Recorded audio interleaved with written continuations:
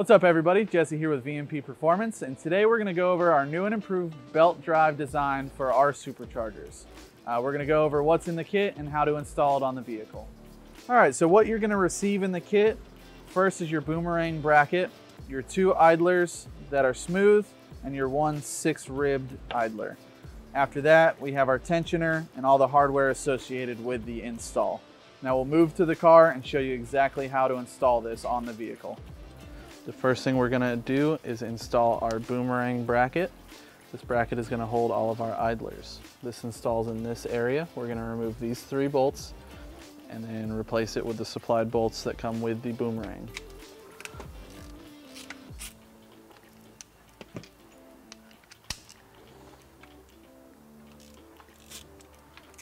Two out of the three bolts are gonna go straight through the bracket.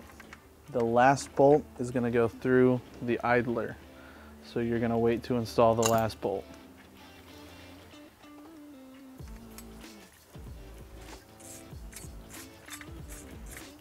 The last idler will install with the supplied bolt.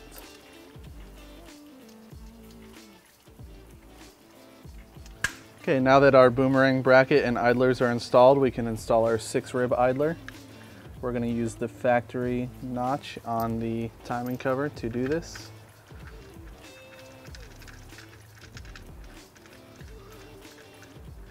Tighten that up and we're done.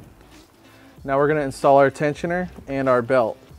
You can install the belt after the tensioner goes on. However, I find it easier to slide the belt over the pulley and then put everything in place. We're gonna mount this right in the factory location on the timing cover.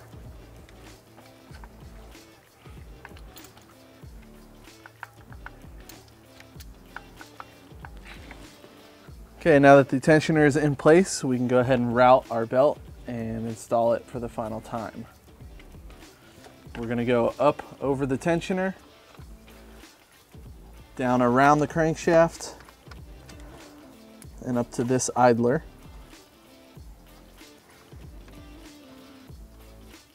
On the other side, we're gonna go around the AC compressor.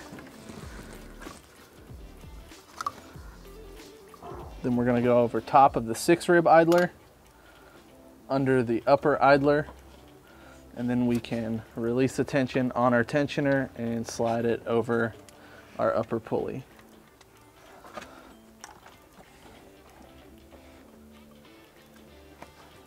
Now your belt is installed. After you release the tension on the belt, you're gonna go around and double check that the belt is in position on all pulleys. And now you're ready to go. All right, that's our install for our new FEAD system for your supercharger. If you have any questions, comments, concerns, feel free to reach out to our sales and support line or hit us up on YouTube, Instagram, or Facebook. Have a good day.